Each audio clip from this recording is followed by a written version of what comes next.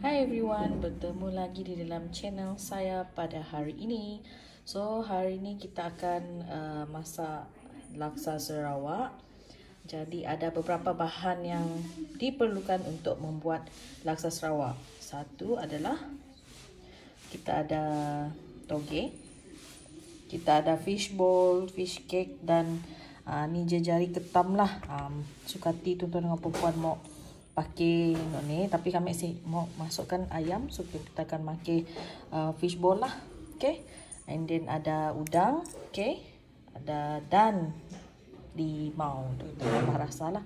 Dan yang paling penting mesti ada santan. So, kami pakai santan ayam brain dan juga paste laksa okay? So guys kita mulakan dengan proses uh, proses udang kita Terus kita buang yang pun uh, tahi itulah. Okay. So kita buang dulu. Uh, nak kopek separuh pun boleh juga. As long as uh, dah dibuang lah dan dibersihkan. Kepalanya jangan dibuang. Kita akan rebus kepalanya untuk mendapatkan broth lah. Okay. Kepala dan isi udang. Okay. So kita olah macam tu. Uh, kami si pandai nak korek-korek. So kami prefer makan macam tu. Supaya masih ada serpihan yang tertinggal pada udang okey so kita potong macam tu okey di bawah air yang biasa aja okey potong separuh lalu namanya hijau-hijau ya dengan yang punya tai yang sekarang kita buang. Okey. So kita buang separuh jadi dan makan senang. So, so yang kepala tu tadi kita si buang. So kita mau uh, pakai untuk ya lah untuk merebus untuk mendapatkan air udang tersebut okay. Kita bersih bersih saja. Kepala udang kita dah tadi. Okay. boleh buang sedikit kita bersihkan. Kita buka dan kita bersihkan. Kita nak pakai udang kecil pun boleh lah as long as nyaman udang okay. hmm, untuk buang semua tu. Uh, pasir okay, kita tarik bagus-bagus. Hmm, boleh belah sekejap lah. Hmm. Okay, uh, untuk biarkan ya okay. so kita potong biarkan air yang mengalir potong dan buang uh, bahagian okey uh, pastikannya dibersihkan dengan sebersih-bersihnya supaya kelak just terus makannya aja okey okey kita dah siap potongnya oh ada lagi lebihan tinggal Tuhan so, potong macam biasa teknik yang kami kata tadi untuk buang uh, yang kuning-kuning tu okay. supaya terus dimasak senang mau dibuang okay. so, prefernya untuk dibuang macam tu okay. so udang kita dah siap dipotong Sikit tadi kami ada madah uh, lupa sikit bahan which is uh, bihun kita. Uh, ya benda paling penting okey kami sari basuh kami lima tu. Okey. Kalau kita akan potong dua. Okey dan toge tu okey kita bersih bersihkan kepalanya uh, apa nama yang ada tu lah okey. Kita buang mana yang si uh, bersih so kita buangnya okey. Kepala yang hitam pun kita lagi pakai okey. Bersihkan okey. Yang kepala tu pastikan bersihkan punya daurat bersihkan okey. Uh, so siapa yang mau cuba boleh cuba. Kita itulah yang paling simple lah okey siapa yang si suka toge so si perlu letak toge lah okey uh, banyak yang di luar si, si suka makan toge. Si tahu. Okey so boleh cabut mana yang uratnya dah melampu-lampu panjang so kita boleh cabut lah. Namanya malas nak cabut boleh juga. Okay. As long as uh, nyambun kepala hitam yang kita dah buang lah okay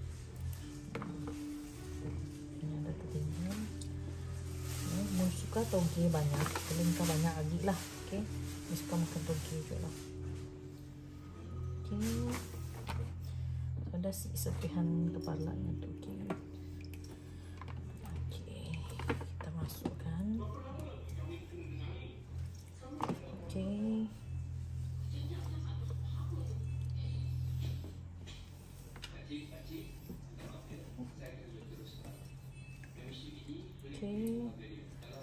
Kepalanya tu dah tenggelam kan. Cuba boleh tengok di situ kepalanya tenggelam bila kita dah rendamnya lah. Ha, mau ambil yang sepihan-sepihan tu boleh lah. Okay. So kita bersihkan. Misalkan kepala tu dah kita buang kacak-kacak lah. Okay. So, so kita dah buang kepalanya dah dibersihkan. Okay gigi bahan yang kami uh, pakai untuk gantikan apa nama ayam adalah kita pakai fish ball lah okay so potong apa nama fish cake tu shape macam tu lah. Suka hati shape mana yang ya so punya kecil gila jangan nyancur lah. So betternya besar-besar macam tu. Uh, kami sukanya agi bulat macam tu. Oh gugu so kita suka yang nyagi bulat macam tu. So kita potong ajaknya bulat. Bergantung pada tentu dengan kemampuan mau nyadi uh, potong besar-besar sikit kamu mau belah dua gitu pun boleh juga ya depends dengan masing-masing no okay sudah siap potong-potong kami dah siap potong-potong tadi okay boleh pilih mana-mana apa-apa mau masukkan sotong ke apa uh, tahu ke kan uh, so boleh uh, apa nama pakai uh, ya lah oh. Okay, si strik pada ayam aja. Okay. okay, benda lain yang kita boleh masukkan dalam kita pun togi adalah uh, tahu kering tu yang ada dijual di uh, pasar raya lah okey? Uh, so boleh potongnya separuh ke mau besarnya lagi ke mau kecil lagi boleh potong lah okey? Okey kita potong contohnya adalah dalam bentuk dadu. Oh gugu so nya dalam bentuk dadu. So kita potong kecil lagi lah. Takut kelak tercekik makan. So uh, so kami ada So kita cuci lah Ada daun sup lebihan yang kami ada beli sebelum itu So kita akan uh, yang nipis kecil-kecil Untuk kita letakkan di atas apa nama ya lah. Okay So tahu tu kita basuh dulu. Okay, Kita basuh bersih-bersih. Okay Tutup bagus-bagus Nanti ada ladap lah Kita tutup bagus. Ini untuk kita buang air dulu masukkan air okey untuk membasuh bersih-bersih ya, tuan bukan sebab uh, ni kotor ini di tanah ya nang kotor lah bersih okey untuk ini kita buang lah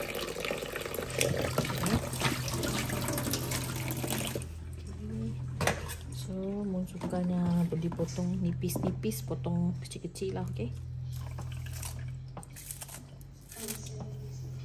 so kita potong-potongnya. Okay yang suka besar-besar boleh potong besar-besar. So, potong macam tu oh gugur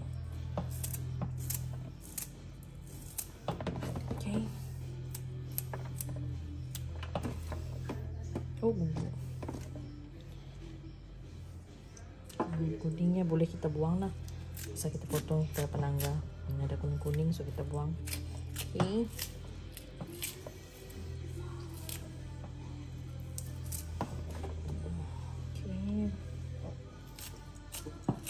kita potong-potong potong.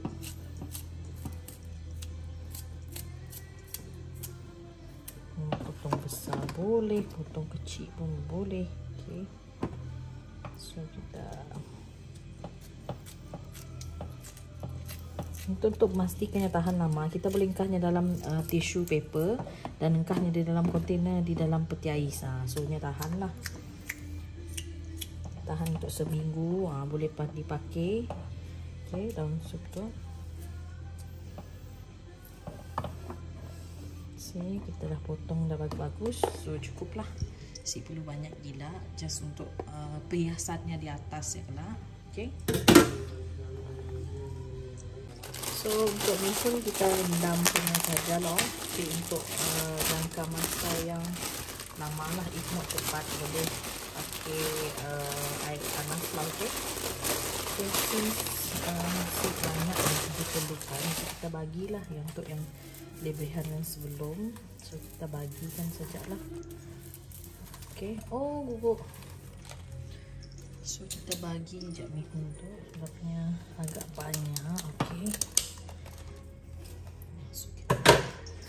rendamkan sahaja. Ok kita rendam sahaja mihun ini. If nak pakai air panas pun boleh lah tapi kita pakai air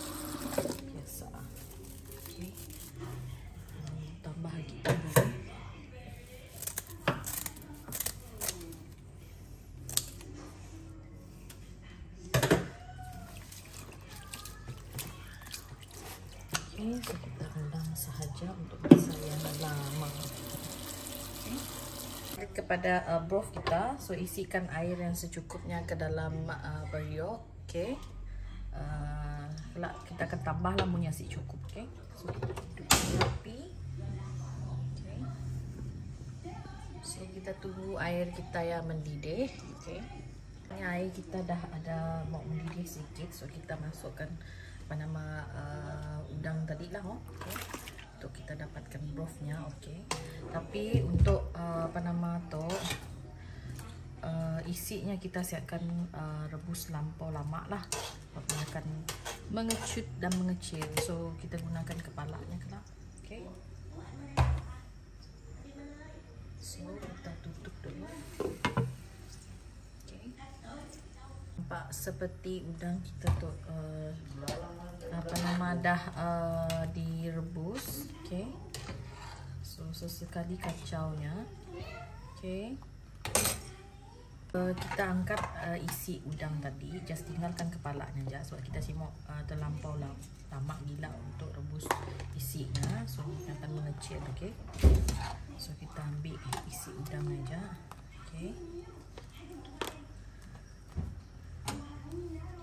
kepalanya kita biarkan tapi bukan kita makan kepalanya tapi kita ambil isinya je lah so oh oh oh, oh. sekali kepala udang tu so kita pastikan isinya kita ambil okay. sekejap sahaja direbus bersama isi okay.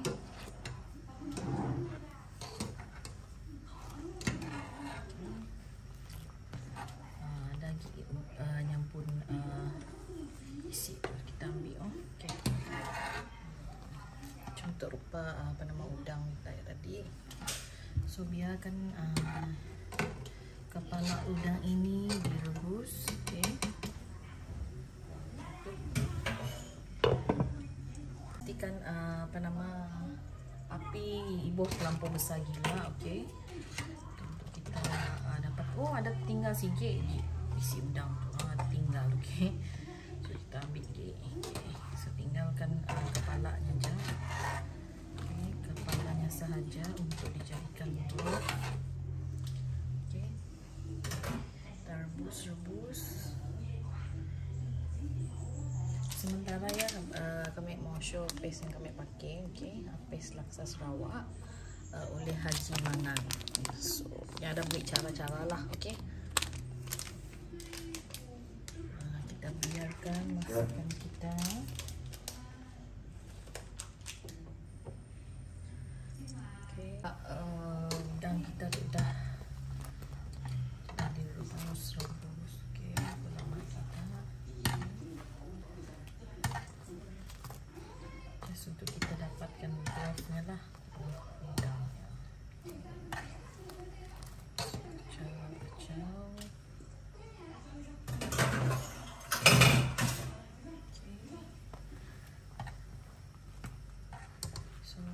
Atasnya kita angkat kepala udangnya oke okay. kecilkan sedikit apa nama tu okey masukkan masukkan uh, paste tadi so dalamnya macam tu oh. okay, dalamnya macam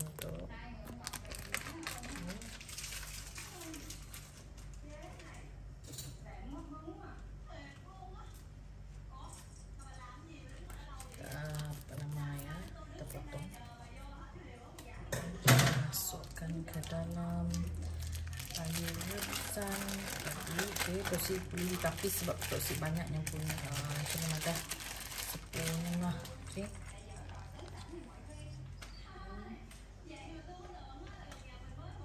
kita kacau-kacau dulu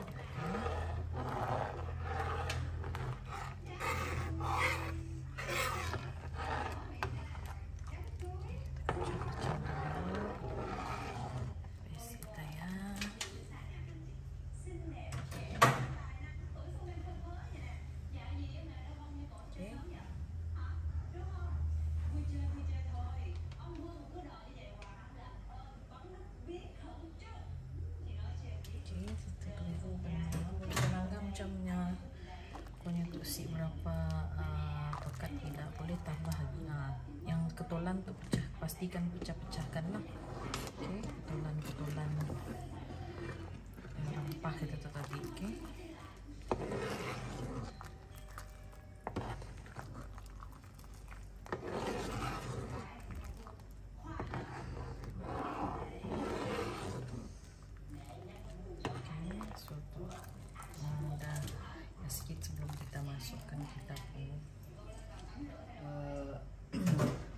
Santan okey.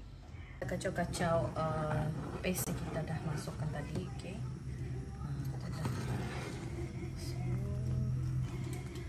If cukup boleh tambah untuk dua pack lah okey. So kita masukkan santan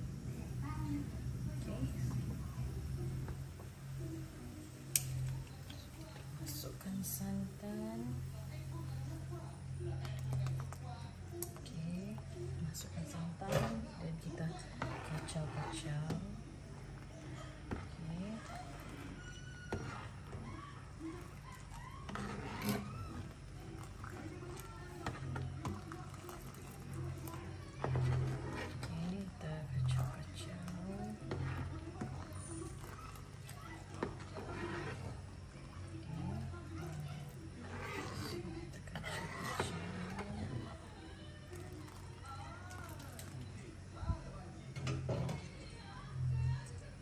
kita kacau-kacau uh, kuah kita yang kita dah masukkan santan tadi lah, okay? Just nice. So kita masukkan makan perasa, okay? Saya suka gunakan secukup rasa Maggi, okay? Masukkan juga garam.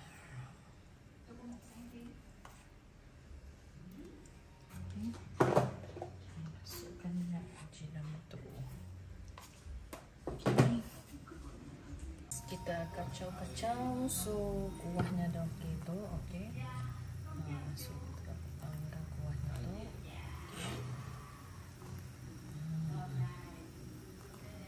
okey so kita tuangkan so tahu tadi kita masukkan di dalam laks kuah laksa kita okey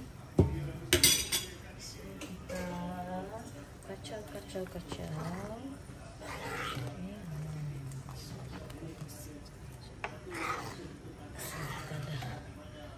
kacau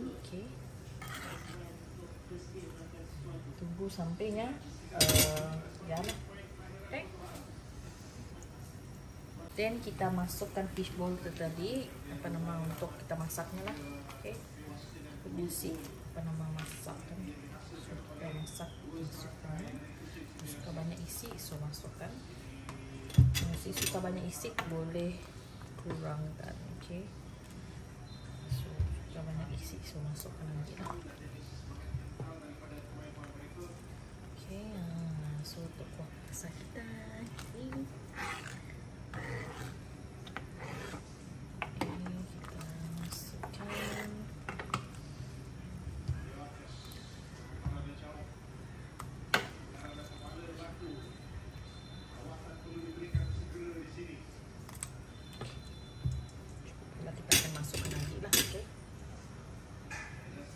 Tunggunya mendidih. Kita pun uh, laksa dah apa nama mendidih. So kita boleh padamkan tak? Sambilnya dah kembang dah kita punya fish tadi, okay? So kita boleh padamkan api bahan yang tadi tu uh, okay, kita just celurkan sahaja di dalam apa nama air panas okay. Kita masakkan sikit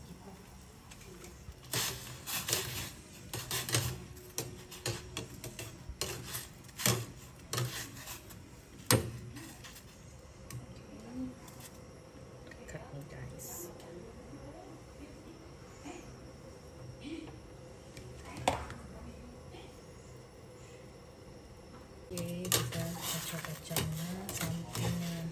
Jangan terlampau masak kita, okey.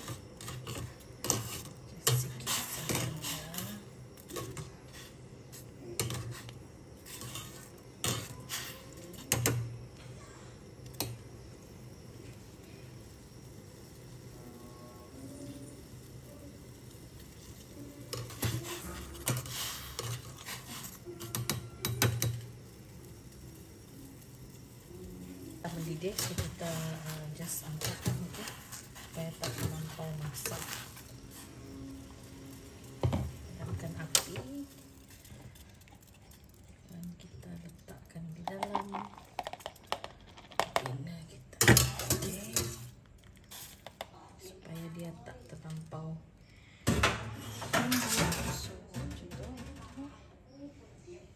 Guys, uh, untuk sambalnya kita mesti ada bawang merah, ada bawang putih, ikan bilis, cili dan belacan.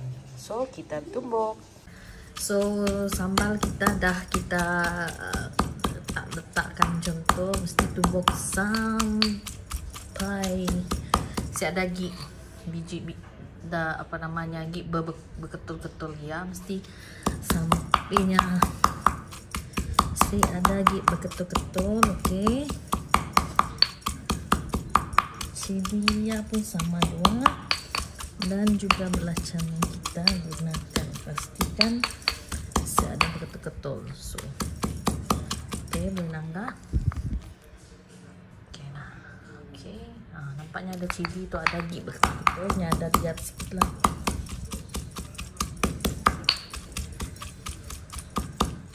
Okay, so lepas kita tumbuk tu pergi ke proses seterusnya. Kita akan goreng sambal, okay? Kita masukkan minyak kita untuk kita goreng sambal, okay? Mesti secukupnya, api jangan kuat gila, okay?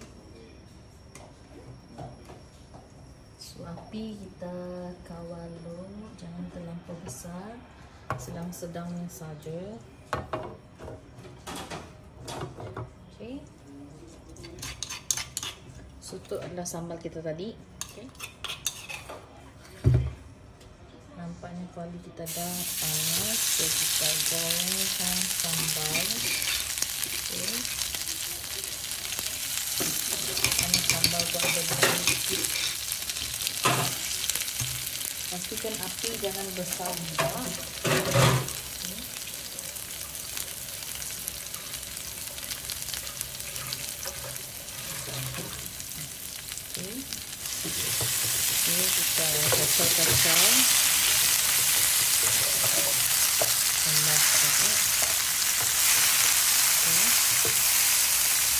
Goreng goreng goreng goreng goreng sama belakang yang memang tidak dapat dimasukkan okay.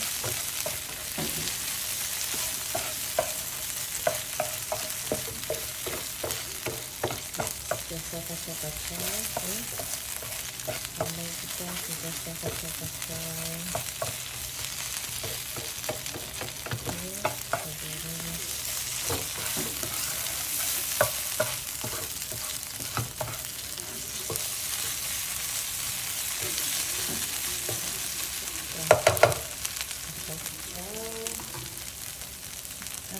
sedikit ajinomoto ajinomoto okay itu banyak. Garam tidak perlu sebab memandangkan ikan bilis dan belacan tadi yang ada. Nah, kita akan beri dengan dalam ini.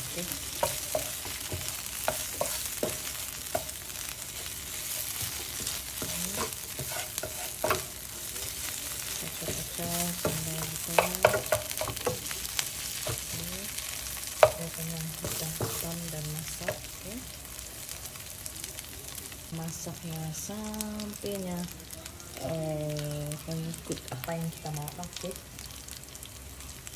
berwarna gelap. Sambal untuk laksa. So makan laksa mesti ada sambal. So kita akan campurnya dengan limau yang kita uh, dah apa namanya dah dah depan tadi okay.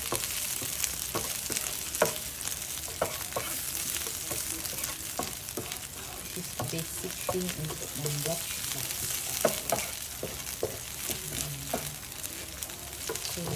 kita nangga kita pun uh, sambal tu yang gelap-gelap okey. Kacau kacau. Sentiasa kacau kacau okey.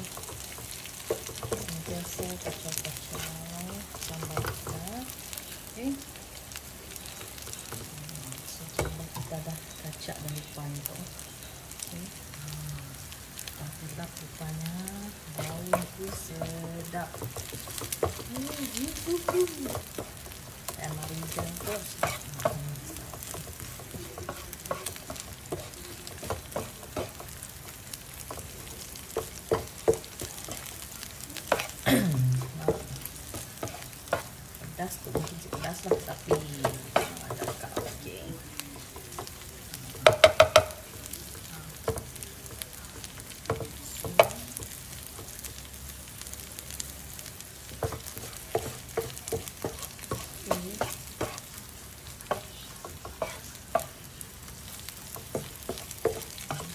sambal kita sudah gelap dan dah masak secukupnya dan warnanya pun kacak untuk dijadikan sambal sambal ikan hmm, okay, sambal laksa so kita padamkan api stay tune guys bahan-bahan yang kita dah sediakan tadi lah mihun uh, limau, telur yang kita dah masak dan potong-potong, okey. So tu adalah kuah laksa tadi, tu adalah sambal, tu ada toge. So kita mulakan dengan tambik sikit telur lah. Ha, so tu ada dua mangkuk. Okey, ha kita letak sikit-sikit. Okey. So kita ambil sikit. Ambil toge. Toge tadi letak okay. masukkan sikit-sikit okay. ah, saya suka toge banyak so saya letak toge banyak lah okay. Okay, kita masukkan kita pun daun sup tu sikit okay. daun sup tu sikit dan last sekali kita masukkan kuah laksa tadi. Nah. Okey. So, ha, kami kena ambil laksa tu dulu. Ha, mun mau uh, letak kita ambil apa nama isi yang dulu lah. Okey. So kita ambil sikit isinya. Okey, then kita ambil kuahnya tadi. Okey, guys. Kuahnya tadi.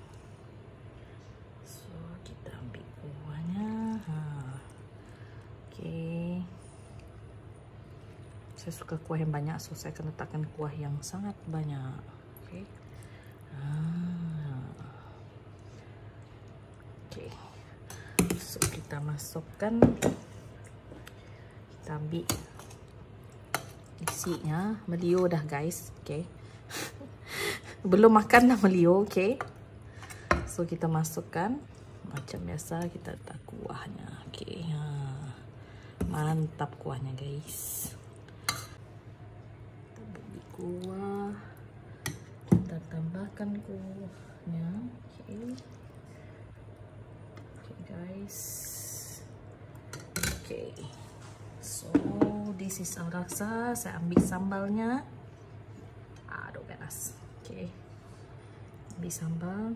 Mau banyak pun boleh banyak. Mau sikit boleh sikit. Okay. Okay. Okay dan last sekali kita masukkan limau. Hmm. so biji limau boleh buang lah okay. Saya suka limau yang banyak so saya akan perahkan limau yang banyak okay. Biji limau tu boleh buang lah kelak. Okay so this is our laksa guys. Don't forget to try